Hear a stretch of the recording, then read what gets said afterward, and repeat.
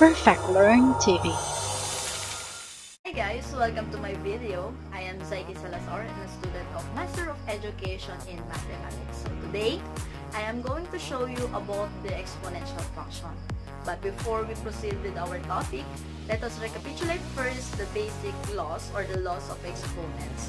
So, are you ready?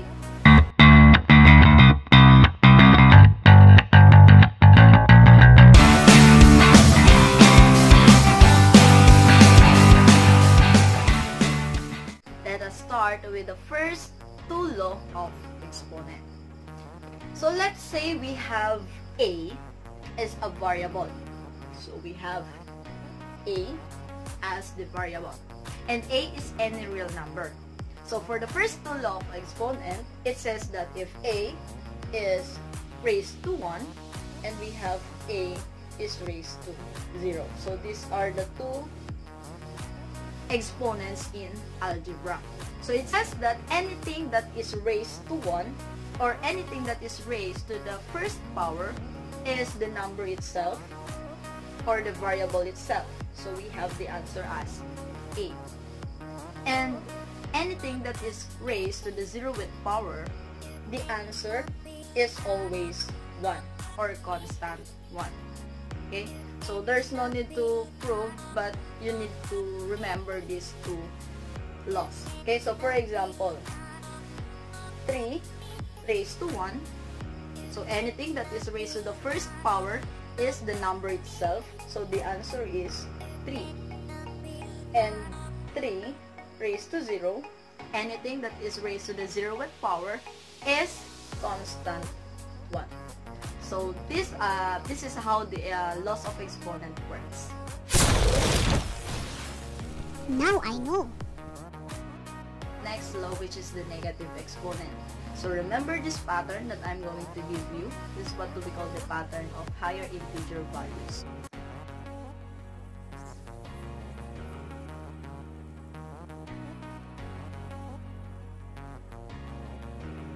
So let's start with the first two law that I gave you before. So we have a raised to 0 and a raised to 1. So since higher integer values, it means that we're going to make the exponent uh, into the higher level. Okay, so if the first one is 0, the second one is 1, the third one, the next integer is 2, and for the next integer we have 3, and so on and so forth. Okay, so but here, I'm going to use up to 3 only. Okay, so in the first exponent, a raised to 0, it says that anything that is raised to 0 with power is equal to 1. And for the uh, next integer, we have if a is raised to the first power, the answer is a. Okay, so the variable itself. But it says that if we have 1 here, we can write another 1 and we're going to multiply it with the variable a. So the answer is also the same. So we have 1 times a is a. For the second, uh, for the third rather, so we have also, it means that the variable a, we're going to multiply it 2 times. So we have a multiplied by a. But since I told you we started with 1, we can write here also 1. Okay, so 1 multiplied by a multiplied by a. So the answer is the same also. And for the third exponent, it means that we're going to multiply the variable a 3 times. So we have a multiplied by a multiplied by a. And also, likewise what we do before, we're going to multiply 1 here. So you see the pattern. We start with 1.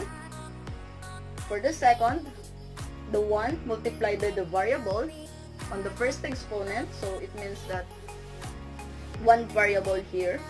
For the second exponent, second exponent, we're going to multiply the variable two times. So we have 1 times a times a. And for the third one, we have 1 times a times a times a since the exponent is 3.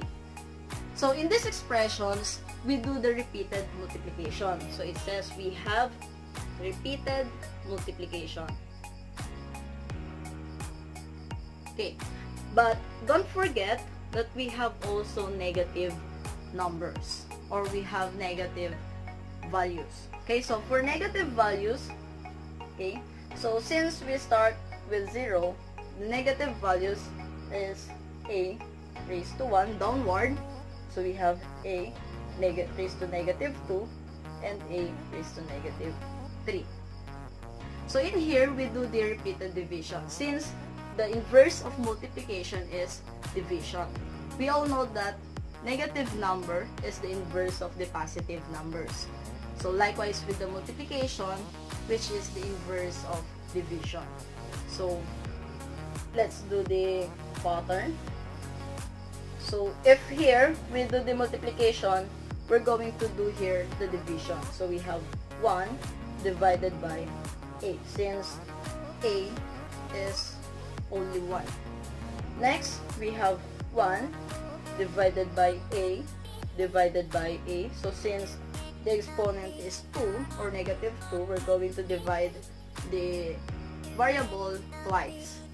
And for the third one, we have 1 divided by A divided by A and divided by A. So in here, we do naman uh, we do the repeated division. Okay. So, we can conclude in the next law of exponent, okay, or in the next law of the negative exponent, we have, okay, we have a as the variable, a raised to negative n is equal to 1 over a raised to n. Okay, so in simplest, in the simplest way to simplify the negative exponent, if you're going to make it positive, you're going to put it in the denominator. Okay, and 1 as our numerator.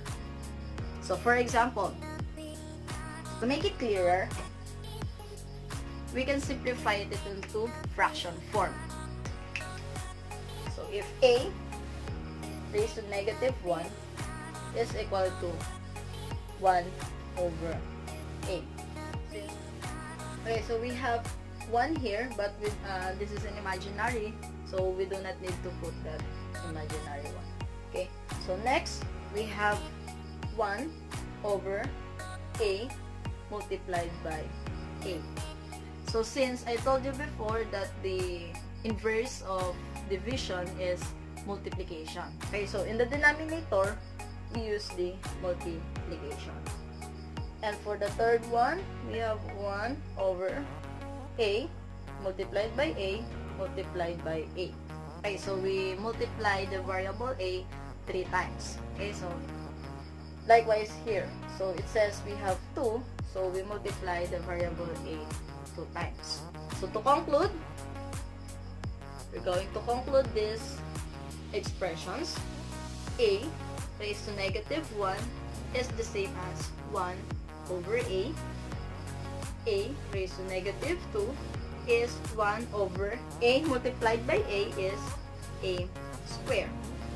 a raised to negative 3 is equal to 1 over a times a times a is a cube. Okay, you see the difference or you see the similarities of the fraction form and for our Okay, so these expressions illustrate our next law. So we have the negative law of exponent as we have a raised to negative n is equal to uh, 1 over a raised to. In simplest discussion or in simplest definition, to make the negative exponent positive, make it or put it in the denominator. So, if a is raised to negative n, to make the positive exponent, put it in the denominator. So, so we have the example 2 raised to negative 2. So, for the pattern that I gave you before, okay, so we have 1 divided by 2 divided by 2. So when we enter these numbers and operations in the calculator, we're going to gain the answer of 1, uh, 0.25. Okay, so 0.25. So this is the pattern. For the fraction form, the same uh, example, 2 raised to negative 2, we have 1 over 2 times 2. And we're going to gain 1 over 2 times 2 is 4. And 1 fourth in decimal form is 0.25. And for the negative law of exponent, negative law, the same example, we have 2 raised to negative 2. To make it positive, we're going to put it in the denominator. 1 over 2 raised to 2. So we have 1 over 2 times 2 is 4. So 1 fourth in decimal form, we also have 0.25. So as you can see, we all come up with the same answers. So this proves the negative law of exponent. Do you get it? Wow!